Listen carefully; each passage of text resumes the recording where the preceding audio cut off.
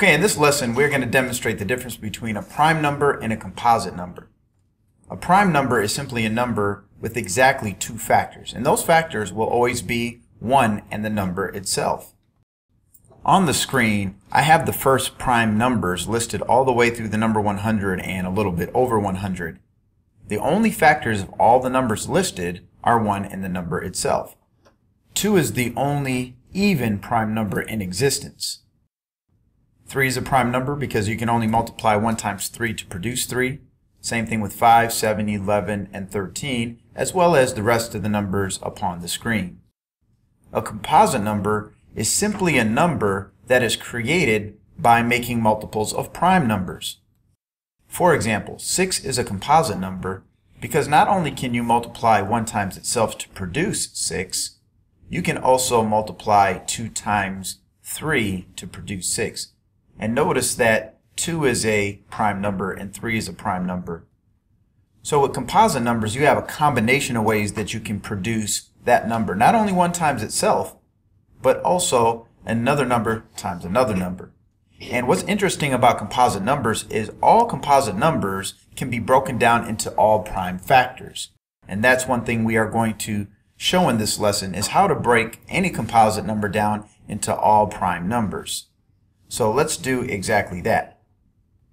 Let's start by taking the number 64 and breaking it down into all prime numbers. Now the process of breaking a composite number into all prime numbers is called prime factorization. A lot of people know this process is simply creating a factor tree because what we do is we branch out from each number and break it down into smaller elements. So we're going to start with two numbers that we can multiply to make 64, and one thing that comes to mind is 8 times 8.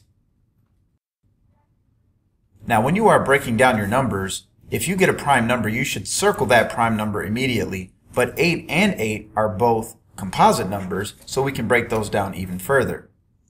8 may be broken down into 2 times 4, and we can circle the number 2 because it is a prime number. And over here we still have to break down this 8. We can do that by multiplying 2 by 4, and we can circle this 2. But the 4 on each side is composite, and we can branch out from that and break that down even further. To get 4, we may multiply 2 times 2, and we can circle both of those 2's because they are prime numbers. And we may break down this 4 by multiplying 2 by 2 as well.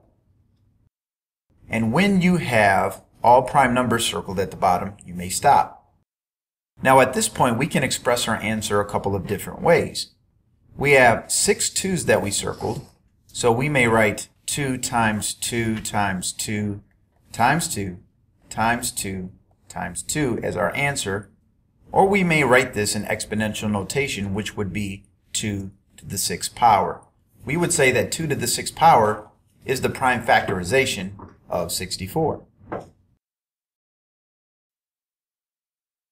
Now let's try another example. Let's say we have the number 240 and we want to break that number down into all prime factors. 240 is a composite number and we're going to take this composite number and start by multiplying two numbers that produce 240. Because 240 ends in a zero, we should recognize that we may multiply 10 by 24. 24 is still a composite number, so we may break that down even further. One thing that comes to mind is 3 times 8. 3 is a prime number, so we may circle that. 8 can be broken down further into 2 times 4. 2 is a prime number, so we can circle that. 4 is composite, so we can break that down into the numbers 2 times 2. And now we have to go back up to the composite number of 10 and break that down. 2 times 5 produces 10, and 2 and 5 are both prime numbers. So we have reached the end of our factor tree. So what we're going to do is list the numbers in order from smallest to greatest. We have 1, 2, 3, 4 2's,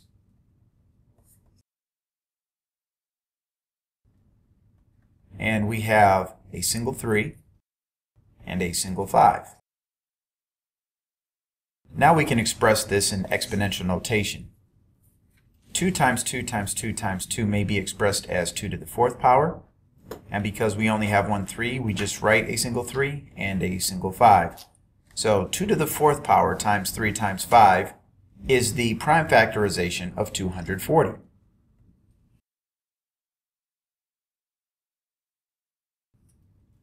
Now, what we're going to do next is demonstrate how we can take any two numbers and make prime factorizations of both of those numbers and use the results to actually find the greatest common factor of those two numbers as well as the least common multiple. So let's say we want to find the GCF and the LCM of the two numbers 80 and 200.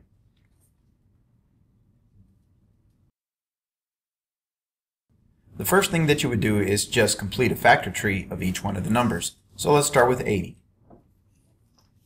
The most obvious factor pair that will work for 80 in the minds of most people would be 8 times 10. 8 may be broken down into 2 times 4. We may circle the 2 because that's prime. This 4 may be broken down further into the prime numbers of 2 times 2. And 10 may be broken down into the prime numbers 2 and 5.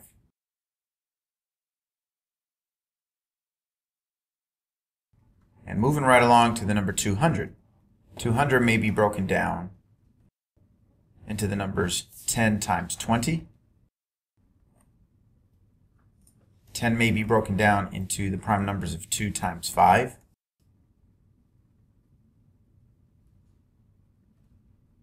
For 20, we may break that down into the numbers 4 times 5. We may circle the 5 because that is prime, and 4 must be broken down into its prime elements of 2 times 2. Now, once you have reached the end of both factor trees, what you do is you look at all the numbers that you circled, or all the prime numbers at the bottom. What you want to do is select a prime number at the bottom on the left-hand side of your factor tree and see if there is an identical prime number on the other side of your factor tree. So what you're basically doing is trying to pair up identical numbers. For example, there is a 2 on this side and there is a 2 on this side to pair up with. So you are just seeing how many matches you have, one on the left and one on the right. Well, we have another 2 over here, as well as a 2 over here. We have another 2 over here, and another 2 over here. We have another 2 over here, but we do not have a fourth 2 to pair up with, so we do not shade that one. And we have a 5 over here as well as a 5 over here. On the right hand side we have another 5 but we do not have one on the left to shade so we have to leave that extra 5 unshaded.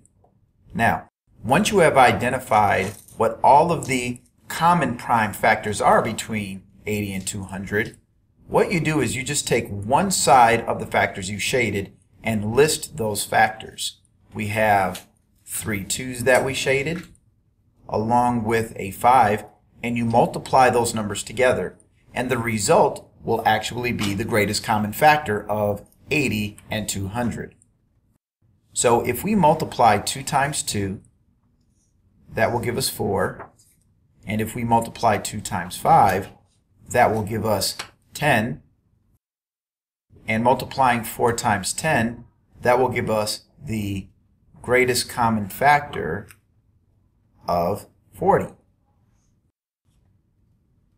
And it didn't matter what side you multiplied the shaded numbers with. You could have done that with the numbers on the left or the right because they are identical. Now to find the least common multiple.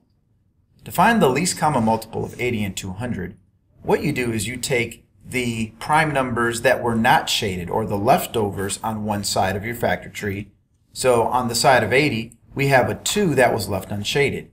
And you take that unshaded prime number and you multiply it by the top of your other factor tree. So if we multiply 2 by 200, that is going to equal 400.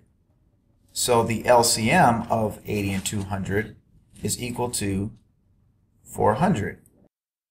And if we wish, we can take the unshaded prime number of the other factor tree, which is 5, and do the same thing. We can multiply 5 by the top of the other factor tree, in this case 80, and 80 times 5 is also equal to 400. So what we should understand from this lesson is that you can take any composite number and break them down into all prime numbers, and then you can take any two composite numbers and perform a factor tree of each one of those numbers and use the prime numbers at the bottom to find not only the greatest common factor, but the least common multiple as well.